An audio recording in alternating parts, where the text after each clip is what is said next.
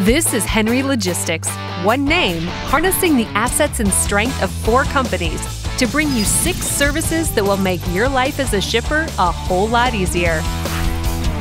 With engineered solutions from HNRY Logistics, atypical deliveries are typical deliveries. We take your custom rollout and our custom solution and roll it all into one.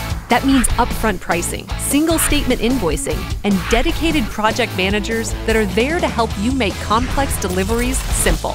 So throw your best freakishly hard-breaking Uncle Charlie style curveball at us. We'll knock that sucker out of the park. It's all part of HNRY Logistics, where we're bringing tech and trucks together to make shipping easier than ever. Truck yeah!